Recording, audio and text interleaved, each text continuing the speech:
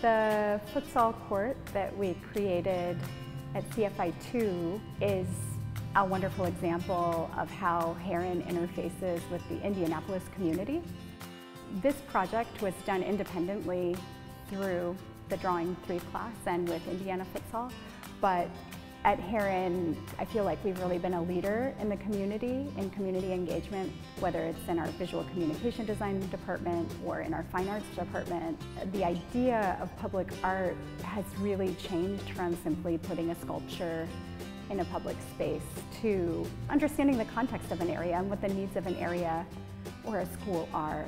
Not only is the public art project visually engaging. It's also engaging for the Indianapolis community and the students at CFI 2.